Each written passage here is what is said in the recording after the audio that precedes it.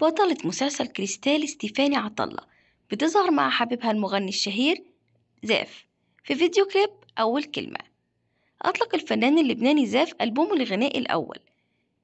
بيحمل عنوان أول كلمة وبيتضمن خمس أغنيات. قرر زاف إطلاق أغنيته أول كلمة على طريق الفيديو كليب من إخراج إيلي فهد بياخد خلاله المشاهد في رحلة خيالية للمستقبل بحثا عن دور الحب في المجتمع.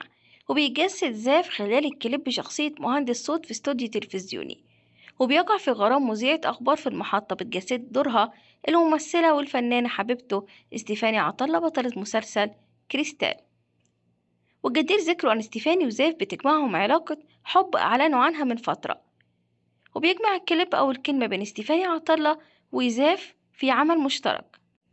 بعد النجاح الجماهيري الكبير اللي لقى أول كليباتهم البكلة وتصدر وقته ترندات منصة السوشيال ميديا وحاز ملايين المشاهدات في يوتيوب وفي تيك توك لزاف وكمان الفنانة إستيفاني عطلة. يذكر إن الفنانة إستيفاني عطلة هي بطلة مسلسل كريستال وبتقوم بدور في بنت الناطور وأشاد بدورها الجمهور في المسلسل.